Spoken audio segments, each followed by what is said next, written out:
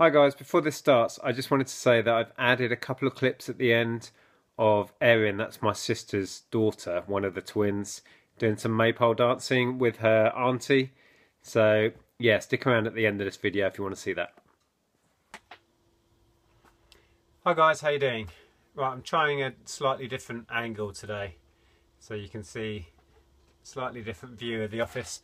Um, yeah, thought I'd do a quick video. Um, had a bit of a pickup in an Asda the other night. I was out picking up, well, I was there for beer basically, and came out with um, some pretty random stuff. Um, yeah, so I thought I'd just share it with you and show you the sort of opportunities that are available if you keep your eyes peeled while you're out and about. I picked up three of these. This is Poxclin and it's like a mousse application for children that have chickenpox. And yeah, I got all that they had left, which was only three.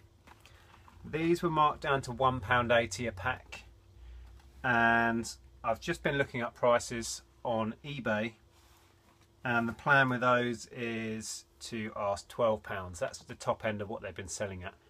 So £12 a pack. Well, that's what people have been doing with, with £12 with free shipping or £10 with shipping on top.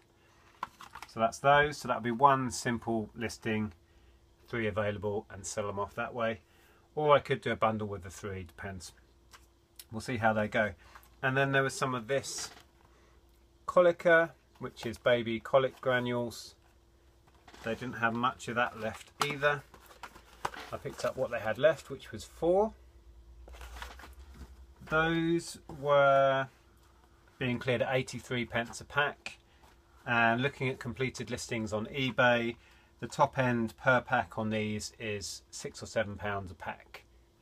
Uh, that's what people have been getting with free shipping but that will ship as a large letter. So that's what I'm going to shoot for on those. And then I bought a whole stack of these. There's 12 boxes of these Nicotinell. Now you may remember last end of last year sometime I picked up a load of uh, quit smoking stuff in Tesco's. And some of them were like those fake cigarettes. So they looked like a cigarette. And I had my listings removed from eBay on those. But the tablets that I picked up in that last haul were fine and I cleared them on eBay. So I looked up these ones. These are Nicotinell mints and they're 100 and, 120 tablets or pieces of gum per pack. I paid £2.66 a pack and I've just been looking on eBay at completeds. People sell them uh, as one box, people sell them in pairs, in threes, in fours. I think the best way from looking at figures is to sell them in threes and that works out because I've got 12 so I could do four lots of three um, and the top end for that is 25 26 pounds for three of those. Um, so yeah there's money in that. Again one listing with four lots of three available if I choose to go that way or I could do them in fours. Uh, I saw one person got 40 pound for four so I could go that way. Not sure yet haven't made a final decision. And then the last thing I picked up was seven packs of these these are Mates Skyn condoms and they were pretty much almost giving these away. Um, I paid just over a pound for seven packs and I'm just going to bundle these as a job lot for eight pounds. There's not a lot of money in them, they're cheap things anyway.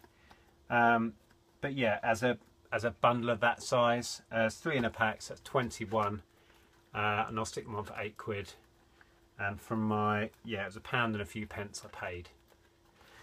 So yeah happy days. So yeah that's what I picked up while I was in Tesco's the other night. Um, yeah popped out for beer and came back with random assortment of stuff. Anyway just a quick one. Hope you enjoyed that. Please give it a thumbs up. I'll speak to you guys soon. Bye for now